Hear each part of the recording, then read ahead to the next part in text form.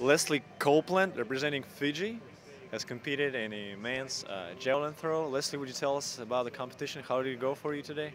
Um, I did not do well. I, uh, I was way below my uh, personal best. I think it's just one of those days you come in, you feel great, but uh, you just I just couldn't put everything together. So I'm a bit disappointed. Uh, but uh, it's a good motivation for me to go back home and uh, work harder.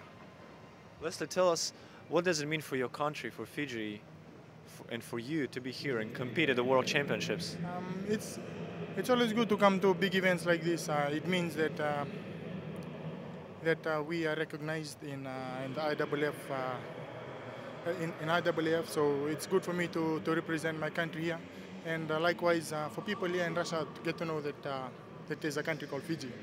So I'm proud to represent Fiji to this meet.